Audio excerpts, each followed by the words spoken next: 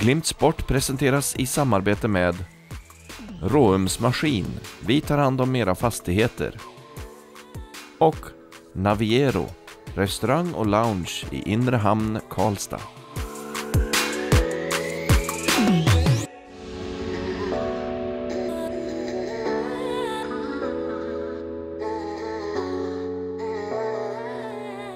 Alex Bojarski, Glimts innebandyexpert. Eh, silly season mitt i sommaren här, men den är på väg att ta slut nu.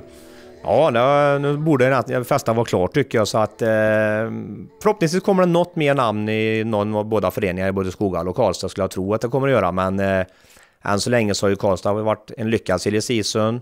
Skoghall i damlag lite mindre så men eh, jag tycker det är överlag ganska bra. Mm, vi går in på dem generellt speciellt. Här vi börjar med Skoghalls damer. Vad säger du om deras eh, värvningar och deras möjligheter när de ska kliva in här nu i, i SSL? Ja, värvningssidan har varit ganska lugn. De har ju värvat Julia Mossberg på som målvakt bara, men dessutom har de blivit av med Mikaela Målström som jag tycker var väldigt duktig och är väldigt duktig, så att det är ju klart en miss. Men ja, jag tror det blir en fruktansvärt tung säsong för dem. Det, det här blir en ny erfarenhet, men ändå kul att de är där. Mm, Skoghall som är rätt så litet också får spela i SSL. Det, det är lite fräsigt. Ja, det är fantastiskt stort tycker jag. En kommun på 14-15 000 invånare som lyckas få ett lag upp i SSL, högsta ligan. Så det är all heder till dem och jag önskar dem lycka till. Men jag tror det blir en väldigt tuff säsong med det, material de har idag. Karlstad dam i SSL då, vad tänker du där? Nej, de hade ju en ganska tuff säsong förra året och jag tror de lärde sig lite grann utav det. Och ny ledarstab nu och relativt samma lag som de hade förra året. Så att eh, jag tror de får betydligt mer poäng i år än de fick förra året. För att de är egentligen bättre än de visade förra året. Och med den starten de fick så blir det tungt. Men jag tror på dem i år. Mm. Eh, det kommer ju bli några superderbyn där också. Ja herregud, jättekul i högsta ligan. Två damlag i SSL är från lilla Värmland. Så det är ju suveränt roligt. Och är det inte fullsatt på båda de två matcherna så vet det tusan.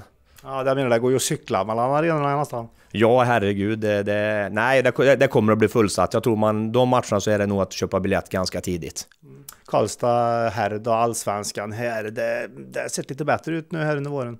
Fantastiska värvningar i år tycker jag. Så att, eh, är de inte ett topplag i år så kommer de aldrig vara och jag tror det, de här värvningarna med Westlund och Adam Kolling, lite nya killar med Pontusson och han och, och, från Kraftstaden. Så det är klart att de kommer att bli farliga i år, Karlstad. Det, det tror jag definitivt. De har mycket nya unga killar som också har växt in i kostymen ett år till här. Och, Nej, Karlstad ser jag som klara favorit i Allsvenskan i år. Mm. Det prat, ja, redan att du är favoriter. Förra året var det topp fyra som gällde och, och så då. Ja, jag får inte glömma bort att förra året tappade de fruktansvärt mycket folk. Så att eh, nu har som sagt de här killarna fått ett år i Allsvenskan och fått kämpa om det. Inte att det, det har inte gått på en räls som det har tidigare gjort i Karlstad.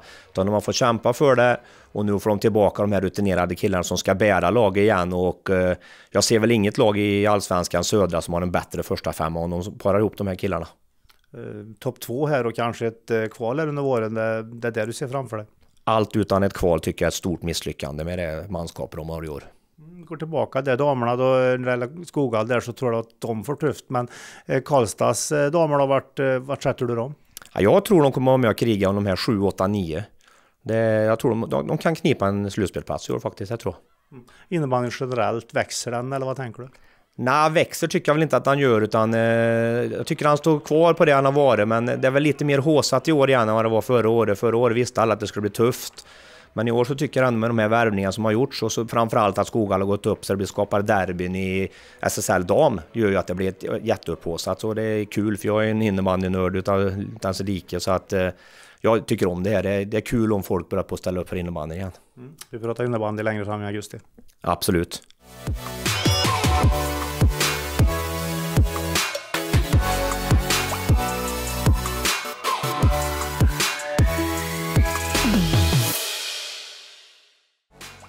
Glimt Sport presenteras i samarbete med Råums Maskin.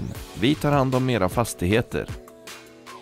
Och Naviero, restaurang och lounge i Inre Hamn, Karlstad.